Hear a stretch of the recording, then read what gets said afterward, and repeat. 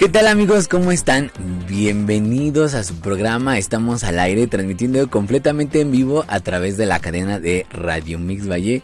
Ya saben, mi nombre es Jorge Arellano y pues yo estoy muy feliz de estar aquí con todos ustedes, con la familia de Radio Mix Valle.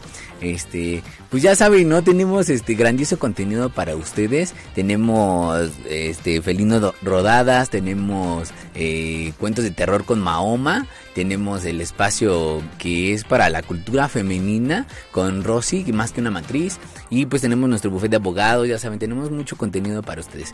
Así que dejen su like, compartan nuestra transmisión y ¿qué creen? El día de hoy, ¿ustedes qué saben de la Semana Santa, amigos? ¿Qué es? ¿Hasta dónde saben? ¿Por qué está organizado de, de la manera que es la Semana Santa? Porque ahorita, pues, gracias a, a, la Semana Santa, pues estamos de vacaciones, ¿no? Pero ¿hasta dónde saben de Semana Santa? Este, ¿qué hizo Jesús? ¿Qué sucedió en esos días? ¿Ustedes saben qué sucedió? Pues si no saben, no se vayan, dejen su like, compartan esta transmisión. Vamos a un corte y regresando les voy a dar todos los pormenores de la Semana Santa. Así que los espero.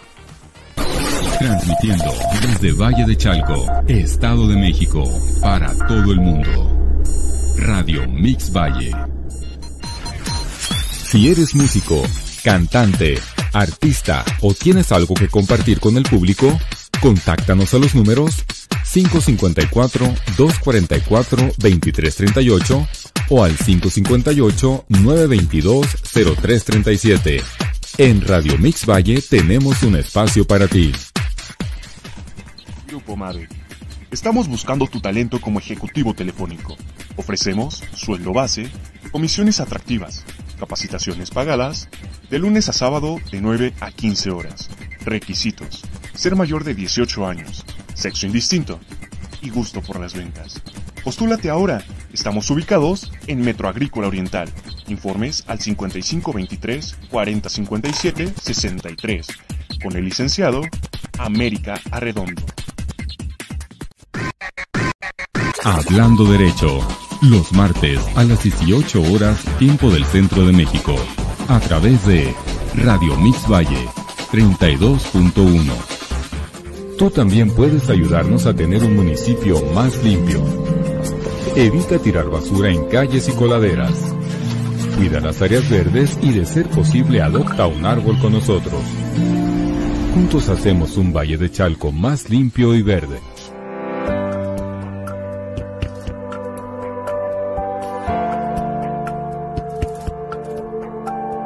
En Radio Mix Valle nos preocupamos por el bolsillo de nuestros seguidores. Por eso traemos para ti Laboratorios con Salud. Es muy fácil pedir tu descuento. Acércate a la ventanilla y di que nos escuchaste en la radio de Valle de Chalco. Estamos ubicados en Avenida Tesosomo, Manzana 29, Lote 22. San Miguel, Jico. Valle de Chalco Solidaridad. Estado de México. Visítanos y sé parte de esta comunidad.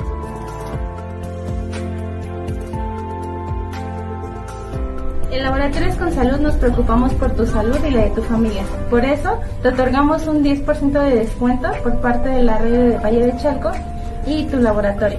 ¿Qué tal amigos? Ya estamos de regreso en su programa, estamos al aire, ya saben, transmitiendo completamente en vivo a través de la cadena de Radio Mil Valle. Y pues bueno, yo estoy muy feliz de estar en esta familia de Radio Mix Valle.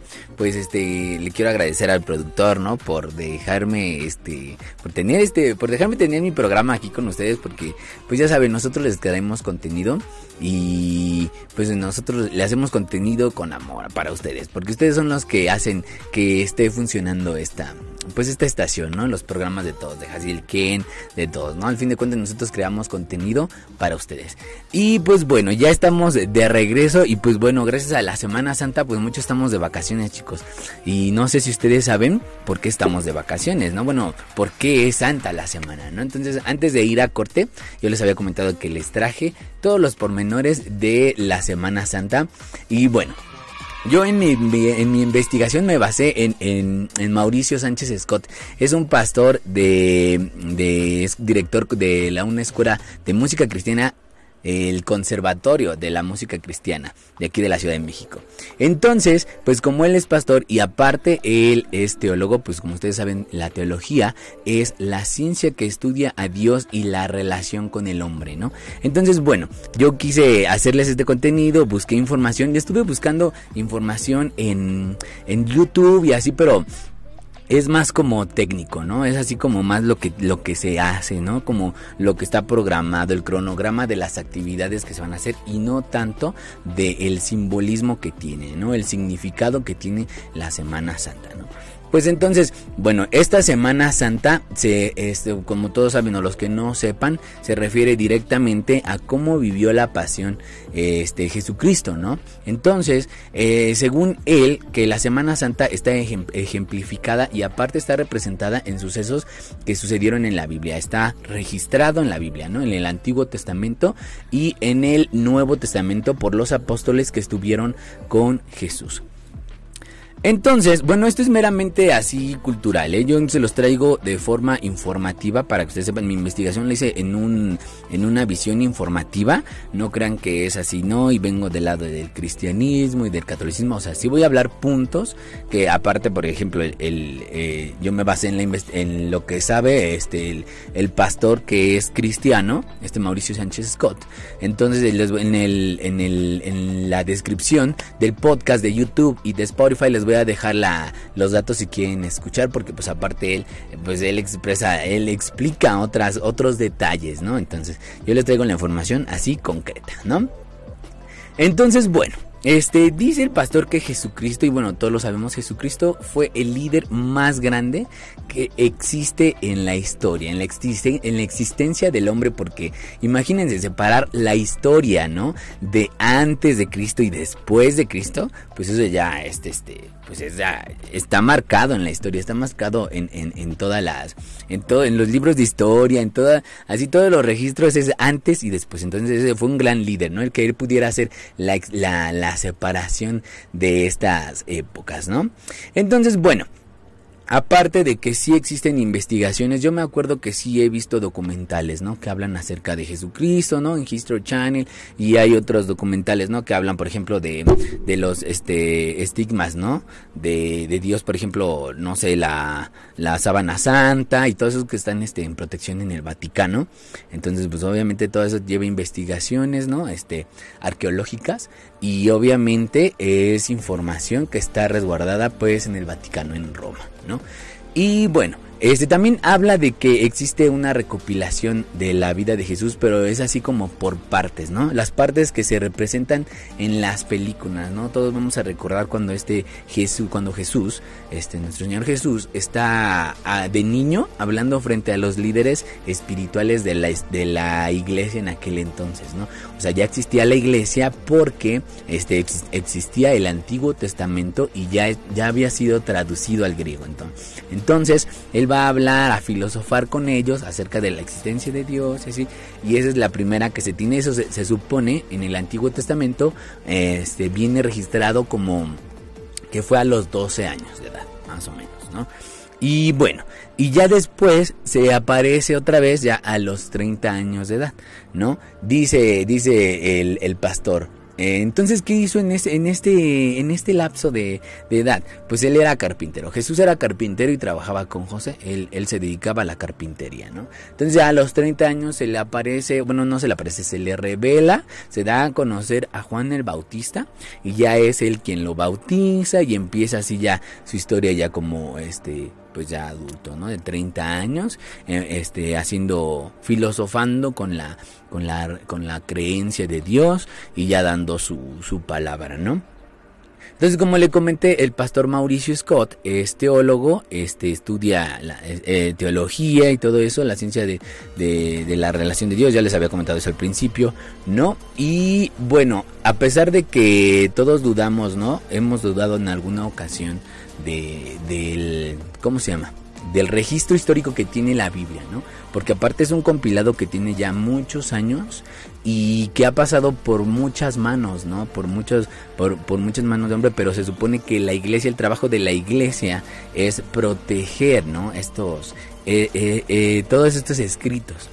Y entonces dice que en una investigación que se hizo, se encontraron algunas vasijas con testamentos, este, bueno, con escritos, ¿no? De los de los apóstoles y se compararon con los que se tenían registrados. Entonces eran copias, eran eran unas copias, pero en ese entonces pues estaban protegidas, supongo, ¿no? Porque en, en aquel entonces Roma eh, perseguía a, estos a estos a estas personas que predicaban alguna religión que no fuera la romana, ¿no?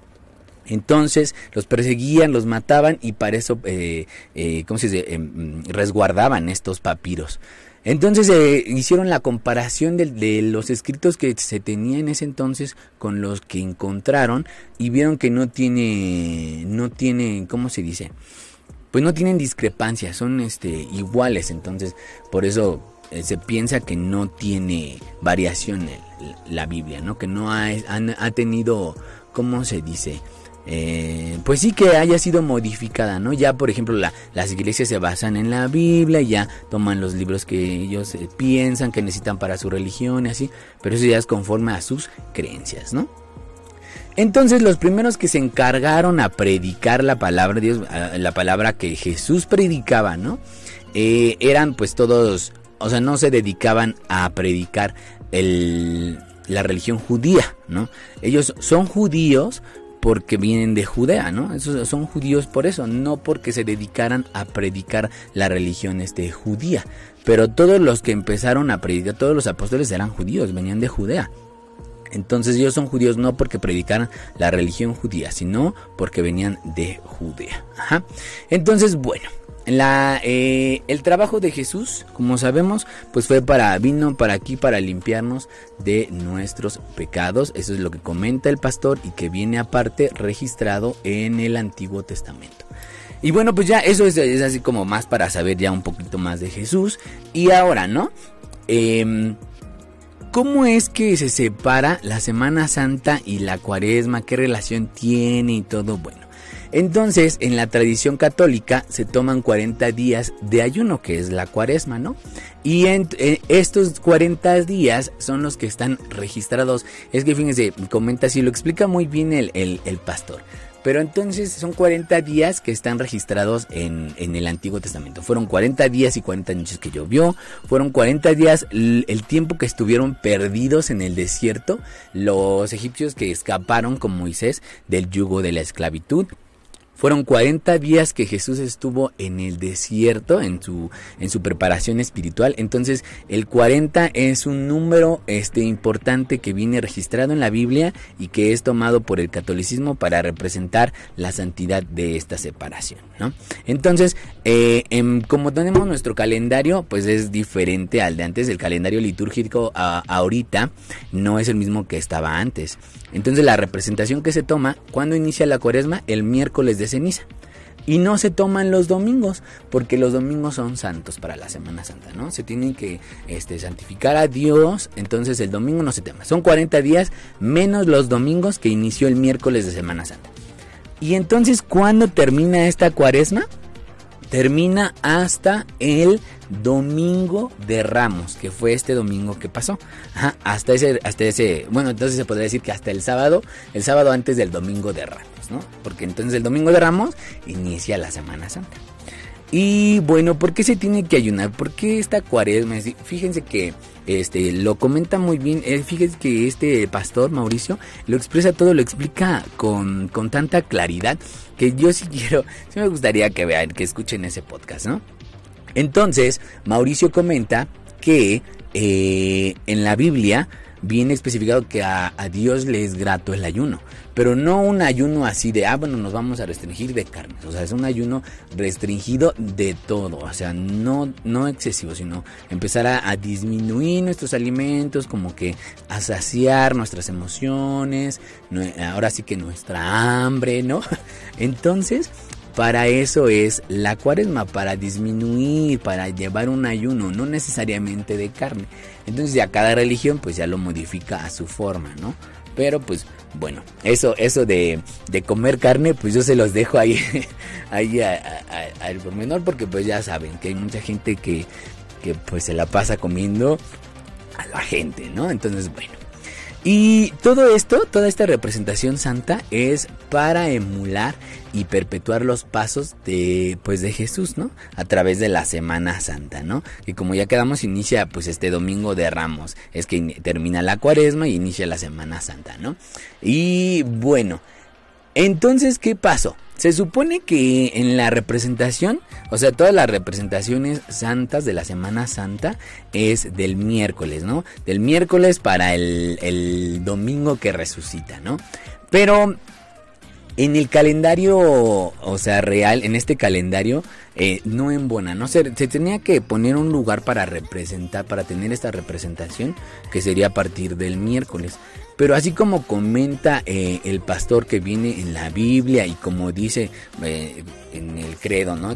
al tercer día según las escrituras, entonces Jesús debió haber muerto el miércoles, debió haber muerto el miércoles para que se llevara la, se perpetuara la profecía, ¿no? Del, del Antiguo Testamento. Entonces para que sean tres días, muere miércoles, sería jueves, viernes y sábado al tercer día resucita, entonces sería el domingo ya resucita. Él debió haber muerto el miércoles y entonces todo se llevó antes. El, pudo haber sido que la semana, este, la última cena fue en lunes y el, el martes fue cuando lo llevaron a juzgar con Poncio Pilatos, con este, eh, ¿cómo se llama? Herodes y así. Entonces ya el miércoles lo llevan a hacer la pasión de Cristo, bueno, lo crucifican, lo ejecutan y todo. Entonces pero entonces, ¿por qué, está, ¿por qué empieza, se hace la representación en jueves y en viernes? Bueno, porque el calendario antes, eh, fíjense que como estaba bajo el yugo romano, los romanos, los emperadores romanos modificaban los calendarios, pues ahora sí como, pues a los que ellos creían, ¿no? Entonces, obviamente el calendario de antes no es el calendario que tenemos ahorita. Entonces por eso se tenía que monar en algún lugar para poder hacer la representación. Pero si lo llevamos así, por eso es miércoles, sería jueves, viernes y sábado santo. ¿Sale? Ok. Entonces ya quedamos, ¿no? Cuando termina la cuaresma, el domingo de Ramos, que es este ramo, este, este domingo, este ramo que pasó, este domingo que pasó, ¿sale? Y entonces Jesús entra a Jerusalén, ¿no? El domingo de Ramos. Eh, se supone, bueno, es este Jesús es marcado como el rey y, eso ya venía, venía en la Biblia. Eso venía representado ya, venía escrito en el Antiguo Testamento y entonces lo que él viene a hacer es a perpetuar esta profecía. Se supone que ya venía marcado que iba a entrar el rey a Jerusalén sobre un burrito. Y él viene así con el burrito y entra así, lo reciben con ramos y todo. Y fíjense antes que este, cuando alguien o un rey conquistaba una ciudad, ellos entraban en caballo entraban en caballo y pues eran recibidos con flores y celebraban el, el celebraban todo, ¿no? Toda la, la, festividad del nuevo gobierno y todo. Entonces, este siempre era con caballo. Entonces, ¿por qué con burrito? Pues dice el pastor que es para representar humildad. Él no venía a, a, dominar un pueblo. Él no venía a conquistar. Él nada más venía a liberarnos de nuestros pecados, que es el pecado original que crearon este con el que nos marcaron Adán y Eva, como dice el, testamento. Todo viene en el testamento, ¿eh? es, subjetivo. Cada quien, yo lo estoy haciendo nada más por cultura y me baso en eh, la explicación que dio el pastor este Mauricio Scott. ¿Sale? Les voy a dejar toda la información para que vean, porque aparte es muy interesante saber todo ese tipo de cosas, ¿no? Es este cultura general. Entonces, el pastor menciona, ¿no? Que la semana completa de Jesús, pues tenía varios días, tuvo varias actividades. Dice que en el Antiguo Testamento también venía marcado cuando él expulsaba a los comerciantes de la iglesia. Dice que eso lo hizo en lunes. Entonces, eh, también se es, marcado en las, en, las películas, ¿no? Como los corre a todos y los latiguea. Dice que incluso creó látigos, que creó látigos Jesús para correr a los mercantiles. Pero fíjense que no los corría porque estaban ahí en, la, en la casa de Dios. Obviamente yo creo que estaban meramente por comercio, ¿no?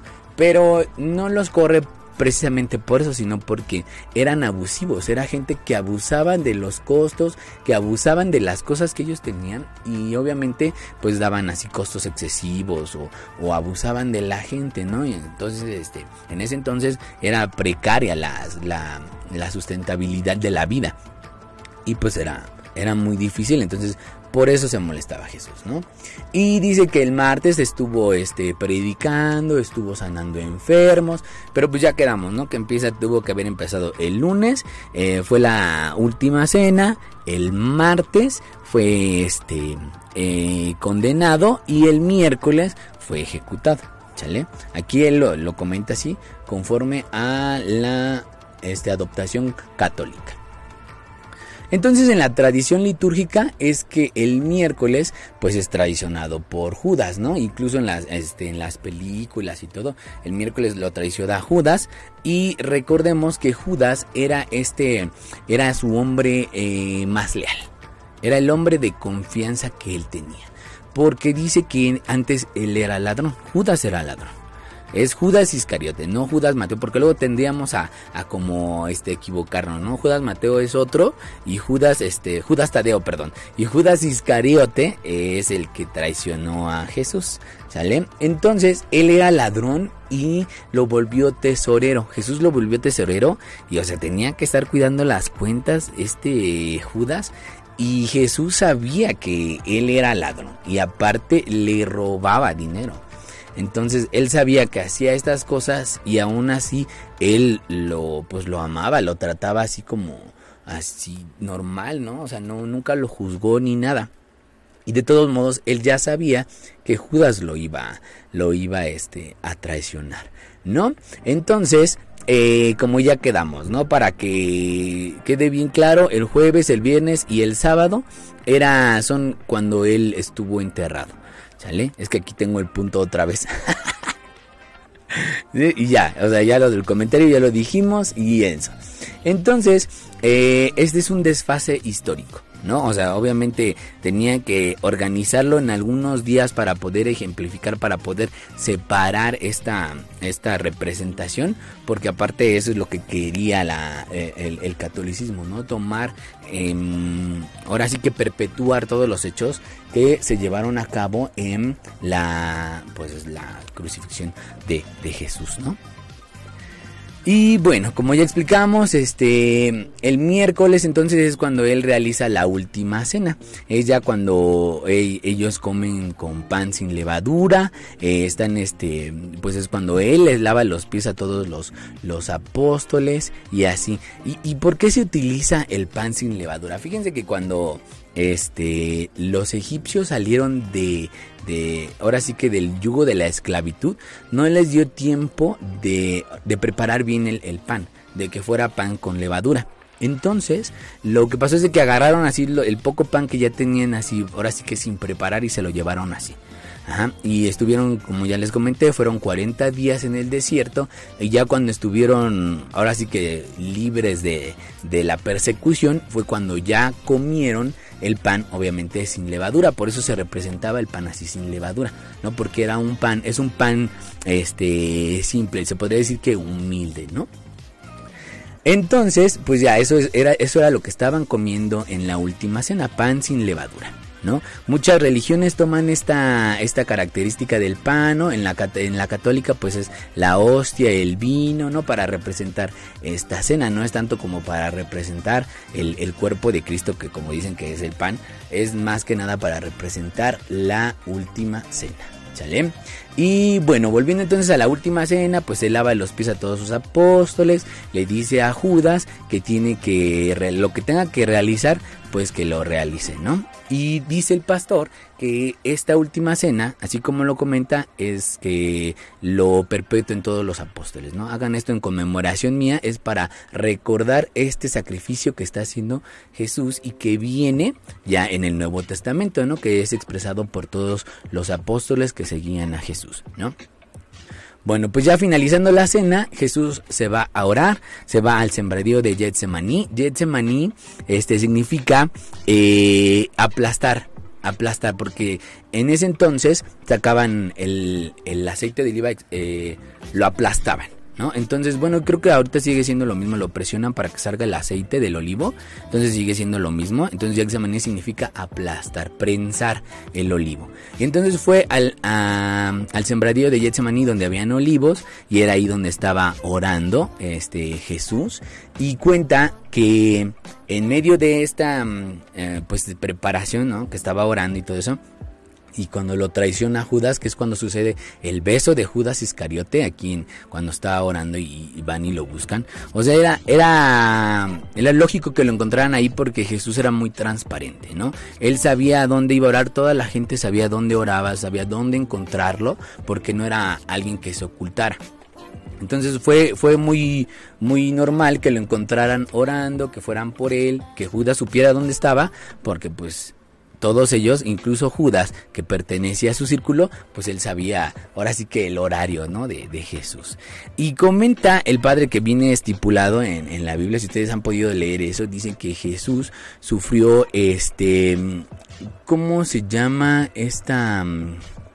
Ay, aquí lo tengo, hematoidrosis, hematoidrosis, que es una, es cuando te estás con mucha presión con mucho estrés, tu cuerpo empieza a sangrar, empieza a sudar sangre.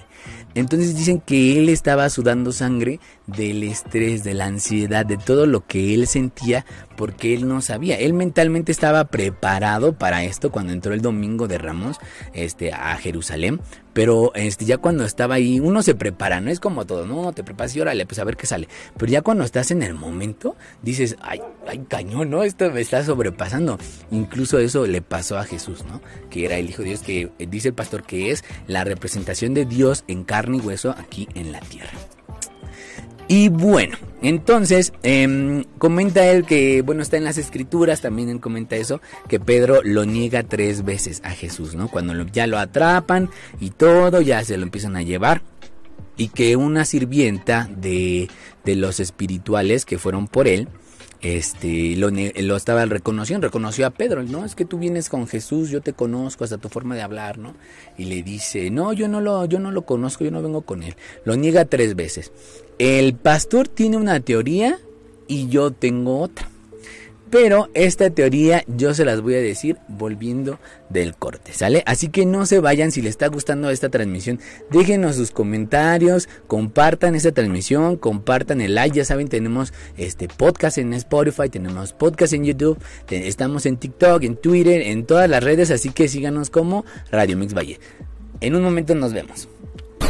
Transmitiendo desde Valle de Transmitiendo desde Valle de Chalco, Estado de México, para todo el mundo. Radio Mix Valle. Si eres músico, cantante, artista o tienes algo que compartir con el público, contáctanos a los números 554-244-2338 o al 558-922-0337. En Radio Mix Valle tenemos un espacio para ti. Estamos buscando tu talento como ejecutivo telefónico. Ofrecemos sueldo base, comisiones atractivas, capacitaciones pagadas, de lunes a sábado de 9 a 15 horas. Requisitos. Ser mayor de 18 años, sexo indistinto y gusto por las ventas. Postúlate ahora. Estamos ubicados en Metro Agrícola Oriental. Informes al 5523 4057 63 con el licenciado América Arredondo. Hablando Derecho, los martes a las 18 horas, tiempo del centro de México, a través de Radio Mix Valle 32.1. Tú también puedes ayudarnos a tener un municipio más limpio. Evita tirar ¿Qué tal amigos? Pues estamos de regreso. Gracias a todos los que nos están viendo. Este, estamos en, estamos al aire, transmitido únicamente por Radio Mix Valle, la mejor estación del estado de México.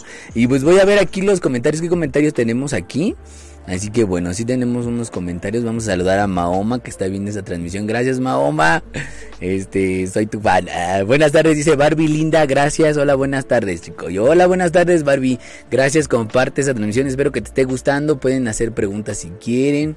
Este, Mahoma, gracias por ver la transmisión. Y dice, lo negó tres veces, dice Mahoma, como a la mamá de mi hijo y a mí, dice. También me cambiaron por unas monedas, dice Mahoma. Saludos, Mahoma, gracias. Ok, pues bueno, vamos a continuar con nuestra explicación. Antes de irnos a corte, pues habíamos comentado que Pedro lo había negado tres veces, ¿no? Entonces, el pastor comenta que eh, la teoría del pastor es porque él tenía mucha, mucha valentía. Pedro tenía mucha valentía. Cuando Jesús estaba caminando sobre el mar, este, les dijo, vengan, no tengan miedo, les dijo Jesús. Y el que se aventó fue Pedro. Y también en las películas, así como lo vemos en la presentación, se pone a pelear con los soldados, ¿no? Porque fue un batallón a, apresar a Jesús, ¿no? Como si fuera así un, un, este, un así de plano muy malo, ¿no? Entonces, este Pedro se enfrentó a ellos con espada y todo. Entonces dice el pastor que si Pedro fuera valiente, pues sí que es valiente, que él tenía valentía, que fue, era un personaje que tenía coraje, pero entonces ¿por qué tenía cobardía para negarlo, no? Dice que fue la influencia que le produjo el colectivo, de que estaban viendo, de, ah, tú eres, tú eres, ¿no? Lo estaban juzgando los demás, entonces eso fue lo que a él le impactó, ¿no? El impacto que tiene el colectivo en tu espíritu. Y pues yo, la teoría que yo tengo es de que alguien más, bueno, eh, después de, del, Nuevo Testamento, la, ahora sí que el representante de, de la palabra de Jesús fue Pedro. Entonces él era el que se iba a enfocar a, predicar la palabra de Jesús, ¿no? Porque él iba a contar lo que vivió con Jesús, todo lo que él vio. Entonces yo siento que por eso tuvo esa, no sé, como ese, ese cambio Pedro, ¿no? Él tenía que hacerlo así de esa manera, porque si no lo hubieran perseguido, lo hubieran matado y pues quién iba a seguir, aunque estaban los demás apóstoles, ¿no? Pero el representante de la de, de, de Jesús después de que murió, pues fue, fue Pedro, ¿no? Bueno, entonces ya. Fue acusado de blasfemia, este, por hacerse llamado de, eh, haberse llamado hijo de Dios y fue llevado con Poncio Pilatos, ¿no? ¿Quién es este Poncio Pilatos? Pues él era el representante del gobierno romano para el pueblo judío, pero los judíos no lo querían, ¿no?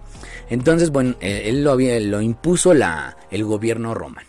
Y ya lo llevaron con Jesús, ya eh, lo llevaron, llevaron más bien a Jesús con Poncio Pilatos y le estaban diciendo, ahora sí que le estaban leyendo los cargos y pues se da, este, Poncio Pilatos se da cuenta de que pues es que este hombre no, no está cumpliendo este, ningún delito, no está infringiendo la ley, ¿no?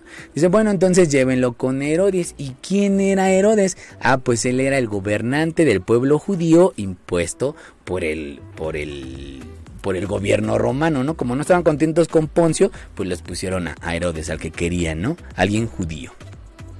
Y entonces cuando lo llevan con Herodes, Herodes le dice, a ver, entonces este, yo ya he escuchado de ti, hazme un milagro aquí, ¿no?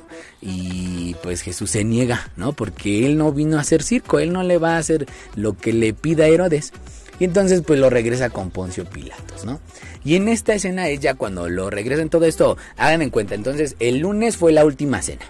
El martes es cuando lo llevan de aquí para allá, lo traen con Herodes, lo regresan. Y entonces es cuando él ya hace el juicio. Es cuando lo ponen, bueno, todos recordamos esta escena, ¿no? Donde está ahí con eh, todo el pueblo ahí gritando, sí, que lo ejecuten y así. Y es cuando Poncio Pilatos se lava la mano. Poncio sí quería liberarlo porque él vio que no era una persona que hubiera hecho crimen, ¿no? Él, él vio que, pues es que todo lo que ustedes le están aquí, este, inventando, pues él no, no tiene nada que ver, ¿no? Y entonces le pedí a él, pues entonces dame armas, dame, dime qué voy a hacer yo para ayudarte. Es que tú no puedes ayudarme nada, tú no, tú no tienes que hacer nada. Le dice, a pesar de que era gobernante, sí, tú no vas a hacer nada, esto ya está, ya está este, dictado, ¿no? En el Antiguo Testamento. Entonces, para lavarse las manos, les pone, bueno, aquí les tengo a Jesús y aquí les tengo a Barrabás. Y sacan a Barrabás, como sabemos, él era, él sí era un asesino, era un ladrón, pero fíjense que Barrabás era un representante de, del pueblo judío. Él estaba haciendo estragos en la ciudad, aparte había mucho movimiento porque los judíos ya no querían estar bajo el yugo romano, entonces estaban haciendo como muchos, este, ¿cómo se dicen? Eh, pues sí, movimientos sociales y todo eso, ¿no? Y Barrabás representaba a esos grupos que estaban, este, infringiendo las leyes, que estaban asesinando y todo eso. Y por eso Barrabás estaba detenido. Y como Poncio se lavó las manos, a ver, pues ustedes decían, vamos a liberarlo a él y ejecutamos a Barrabás. Y dijeron que no, que liberaran a Barrabás porque él estaba peleando, él, él tenía más como una apariencia para el pueblo judío como el Mesías que prometía liberar al pueblo judío y entonces quisieron condenar a Jesús, ¿no? Y pues ya, entonces como ya fue decisión del pueblo, pues ya, y entonces el derecho romano exigía dos castigos. La condena de 40 latigazos menos uno y la pena de muerte. 40, ¿Por qué 40 latigazos menos uno? Porque se supone que 40 latigazos ya atenta con la vida del, del, del condenado. O sea, ya 40 latigazos es mucho, ya es para que muera. Entonces ahí eran 39 latigazos y ya. Y la otra, pues es la crucifixión a Jesús le adjudicaron las dos este, penas, los, los 39 latigazos y la crucifixión.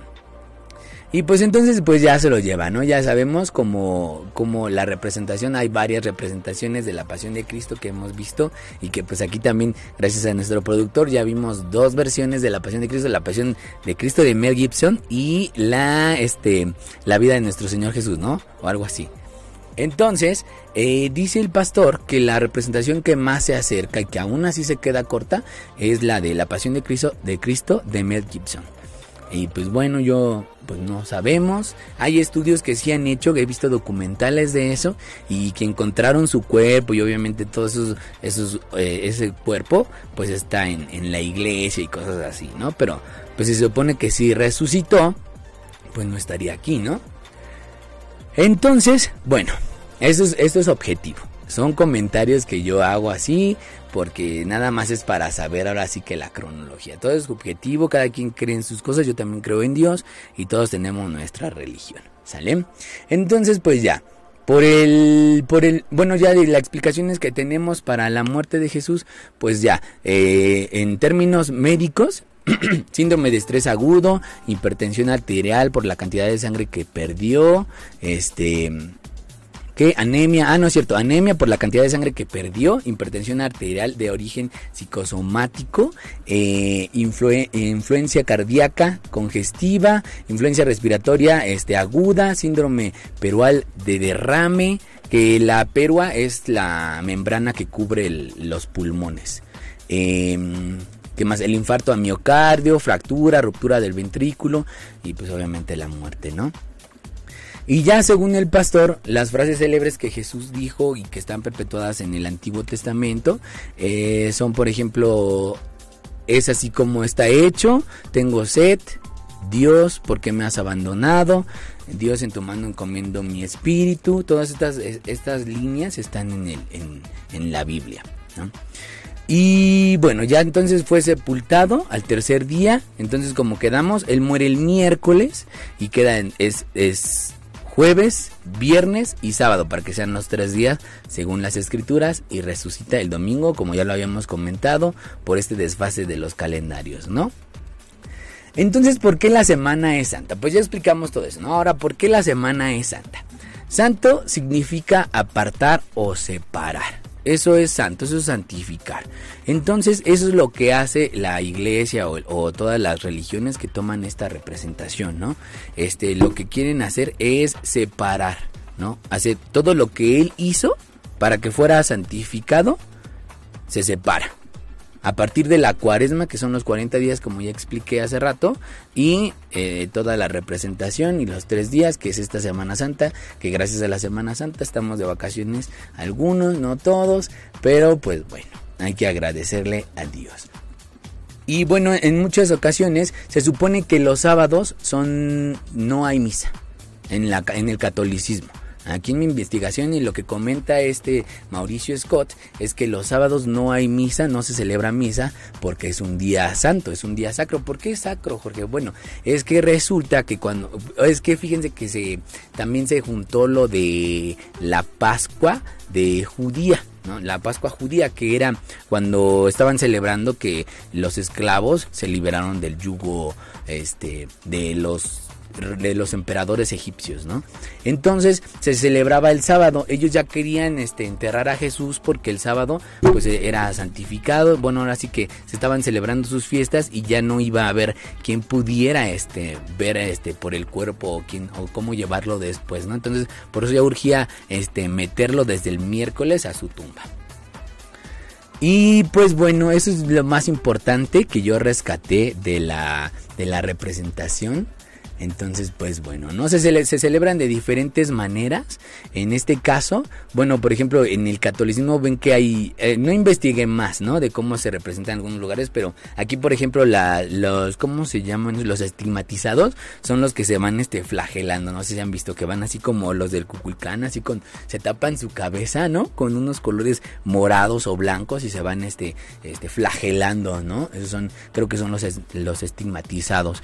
Y en otras, por ejemplo, en Roma creo que se cierra la iglesia toda la semana y nada más, este, como no se representa a misa, pues nada más se ora.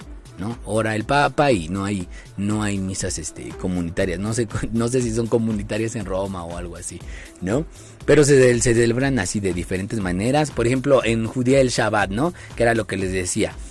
Tampoco investigué del Shabbat, yo nada más les traje la cronología de la Semana Santa. Y, por ejemplo, en algunas cosas que rescata la cultura católica es que ellos utilizan el cirio pascual. Algunas iglesias, bueno, del catolicismo no permiten que lleven, porque dicen que venden el cirio pascual ya nada más impreso. O sea, es el cirio, la vela y le ponen así como algo impreso. Se supone que tiene que ser tallado, tiene que ser tallado y luego esculpido en cera roja no sé, creo que es la cruz, ¿no? La, la simbología de, de, la crucifixión y todo eso. Entonces no permiten, tiene que ser tallada y la preparan. Se supone que no puede, estas velas solamente pueden ser, eh, ¿cómo se dice? Bendecidas antes de la Semana Santa. Tiene que ser antes, obviamente, los días que haya misa. Entonces, bueno, eso sí, eso sí lo investigué, ¿no? Y bueno, pues ya, ¿no? La representación más, este de luminosa de la fe o del catolicismo, pues eso ya cada quien, cada quien representa la vigilia como quiere, ¿no? Pero es como comentaba el pastor, es más que nada de una, un ayuno espiritual, un ayuno de comida, no solamente de carne, de carne de puerco, carne de res, sino de toda, de todos los alimentos, darle un respiro a nuestro, a nuestro cuerpo, a nuestro ser, ser este un poco más empáticos con la con la gente, con las personas y pues bueno, aquí está mi investigación. No sé qué les pareció. A ver, vamos a revisar si hay más saluditos. Creo que ya no hay más. Pero pues bueno, muchísimas gracias a todos los que están viendo esta transmisión. Gracias a todos los que han compartido. Les traje este les traje este tema. Gracias, dice, dice Barbie Linda, muy bonito tema. Gracias Barbie, qué bueno que te gustó. Y pues sí, yo fíjense que yo estaba buscando a quien me ayudara a, decir este tema. Hay una, yo tengo una amiga que estudia teología también y ella pues este ella se había preparado para ser este monja pero pues cayó en las garras del pecado y ya no quiso ya no quiso ya no pudo más bien ya no pudo ser este ¿cómo se dice? Ya no pudo estar en el claustro, ¿no? Entonces le dije, oye, ayúdame a explicar este tema. No, no puedo porque mi semana, precisamente porque Semana Santa, la tengo muy ocupada, tengo que ir a tal lado, tengo que ir a la iglesia. Entonces, pues bueno, casi nadie me pudo apoyar en este caso. Así que ahí les tengo mi investigación y pues, ¿qué les parece? Entonces, mándenme sus temas si quieren que les haga una investigación, si les gustó, si me dicen, ¿sabes qué? Este, te faltó. Ah, ¿no? Pónganme sus comentarios, dejen su like, compartan esta transmisión. Ya saben que tenemos eh, podcast en Spotify, tenemos podcast en YouTube y nos pueden seguir en todas nuestras redes. Tenemos TikTok. Así que bueno, no, no les dé pena, escríbanos, déjenos su like en todas las transmisiones que tenemos para ustedes. Y pues bueno, muchísimas gracias por estar aquí. Mi nombre es Jorge Arellano, son las 4.12. Y sigue Marcelino Pan y Vino, ¿eh? No se vayan.